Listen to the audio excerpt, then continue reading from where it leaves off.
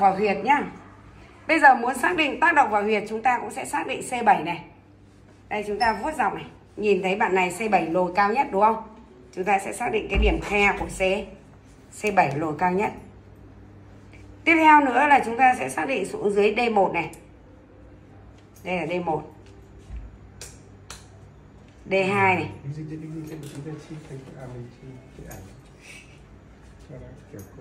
D3 này và D4 này. Đây là C7 D1 D2 D3 D4 rồi chúng ta sẽ xác định này. Phong trì này vuốt dọc giữa cơ thang cơ ức đòn trũng này. Phía trên là gì ạ chúng ta tay mắc vào đây đây chính là cái đáy sọ đây. Đây là phong trì. Dưới C7 chúng ta có huyệt đại trùy chúng ta đo lên hai này. Đo ra một này. Hai thốn nhá. Đo ra ngoài một thốn. Chúng ta có huyệt bách. Bách lao. Từ D1 chúng ta ra 1,5 thốn. Chúng ta có huyệt gì? Đại chữ. Từ D2 ra 1,5 thốn. Chúng ta có huyệt phong. Phong môn.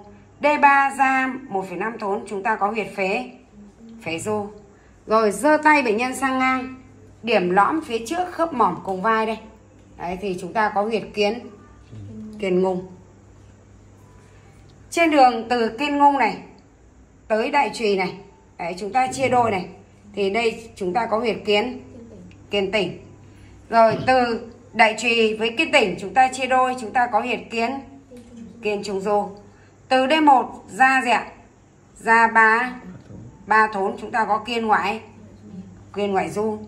Rồi đưa tay bệnh nhân ra đằng sau để chúng ta tìm cái điểm lõm này đấy đây là cái điểm lõm nhớ giữa xương bả vai nhưng mà phải ngang với D D4 bỏ tay bệnh nhân ra đây chúng ta thấy cái điểm lõm đây nhá.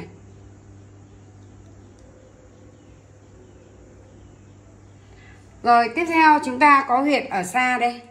Gấp tay bệnh nhân lại ngón trỏ và ngón nhẫn để tạo một cái điểm khe của hai cái đầu xương nhé rồi chúng ta sẽ đo lên đây 0,5 thốn thì chúng ta sẽ có huyệt là lạc trỏng rồi xuống dưới chân. Thì từ đỉnh mắt cá chân phía ngoài đây, chúng ta đo lên bốn khoát ngón tay nhé. Đây, khoát của anh này hôm qua chúng ta đo làm người mẫu rồi. Nhưng mà nó phải gì ạ đây cái chị nhìn thấy đây là cái gân duỗi này. Nhá duỗi mắc dài nên là nó phải nằm dạng cái huyệt huyền trung ở đây. Chúng ta phải nằm ở dạng phía trước nhé, giữa của gân mắc dài và gân mắc ngắn đây. Bên này cũng thế. Chúng ta phải có huyệt huyền trung hai bên.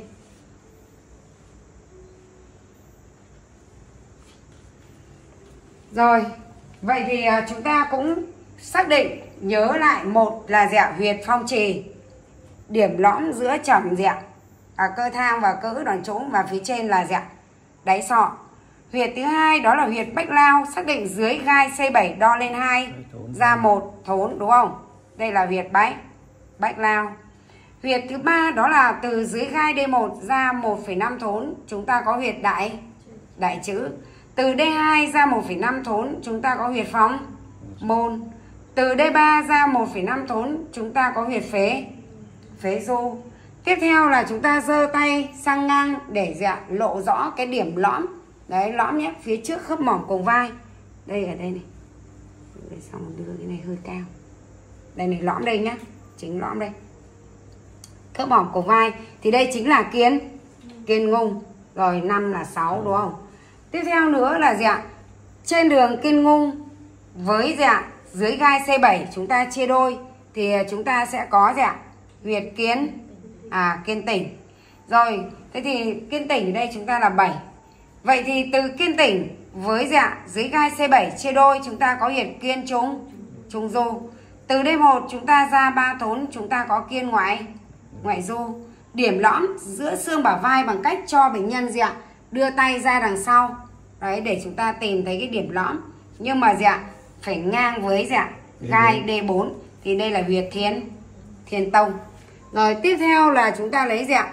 Ở cái đầu nối của hai cái xương của ngón trỏ và ngón ngón uh, giữa nhá. Đấy thì chúng ta dạ đo lên 0,5 thốn. Chúng ta có huyệt lạc lạc chẳng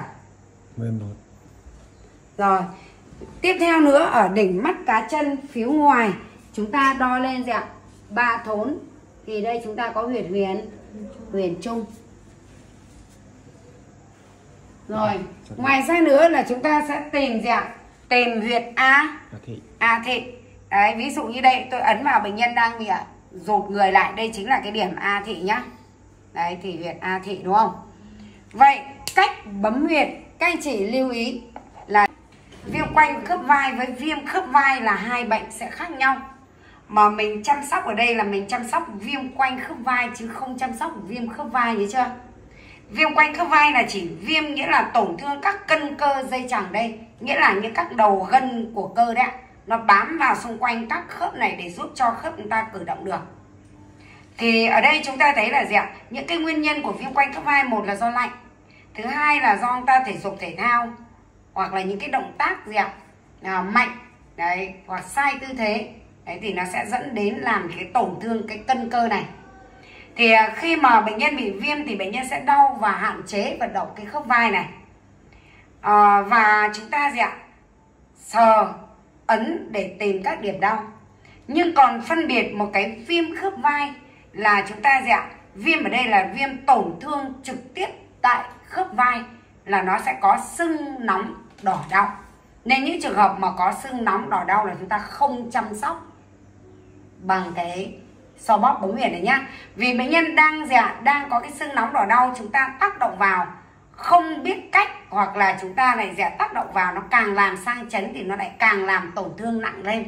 Nên chúng ta chỉ làm những trường hợp mà đang viêm quanh do tổn thương cái cân cơ dây chằng mà thôi thế cái cân cơ dây chằng này quá trình mà khi chúng ta làm động tác, làm cơ nó căng mạnh quá, nó làm sẽ dẹn nó làm co cơ, nó bó lại cái cơ này lại. Nên là khiến cho bệnh nhân dẹn những cái động tác như là chúng ta khám này. Bình thường bệnh nhân sẽ giơ tay được sang ngang này 90 độ và dơ lên được 180 độ này. Đằng trước này cũng thế nhá. Đấy, cũng đưa đường này. Và đằng sau này, chúng ta sẽ đưa ra như này.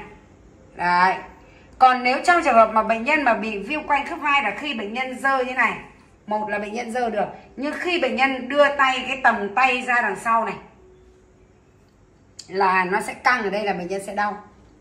Và gì ạ?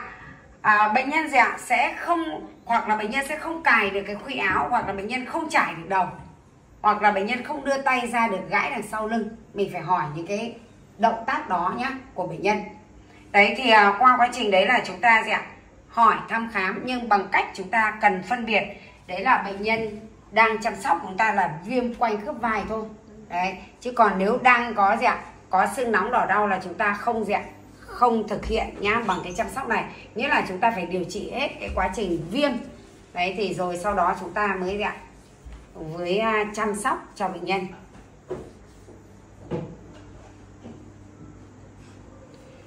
Rồi ở đây chúng ta sẽ dạ tay bệnh nhân để ở cái tư thế như này.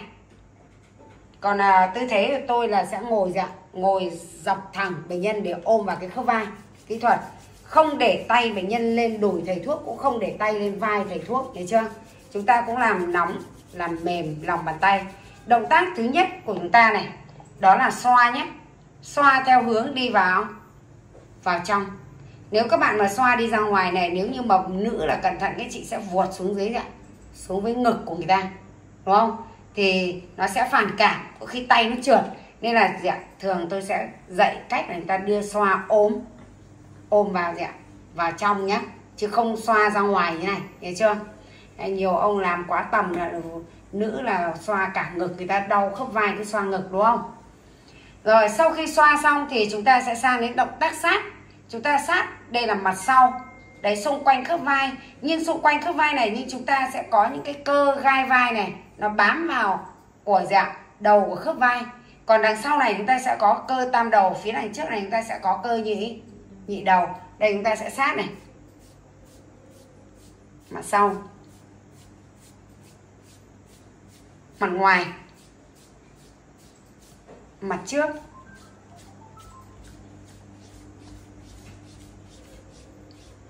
Sát xong chúng ta sẽ sang đến động tác dây này? Một tay này chúng ta điển tỳ đỡ, một tay chúng ta sẽ dây đằng mặt sau trước này.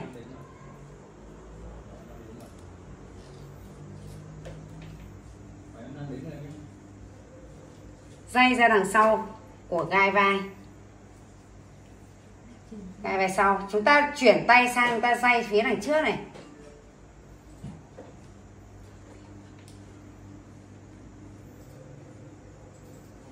Dây mặt ngoài. Này. Tuy nhiên thì khi chúng ta day ạ, thì cái gốc tay của chúng ta này nó sẽ không đi vào được của xung quanh cái sâu của khớp vai. Nên lúc này tôi sẽ dùng đầu của gì ạ? Đầu của cái phần thịt nhé của các đầu vân ngón tay tôi sẽ day vào này, xung quanh khe khớp.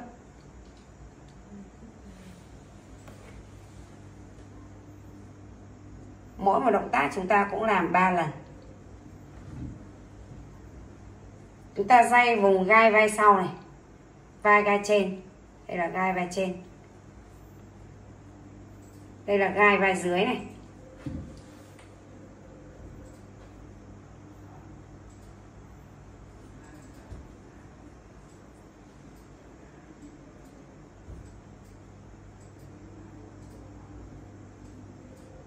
Chúng ta gì ạ dây mặt trước này.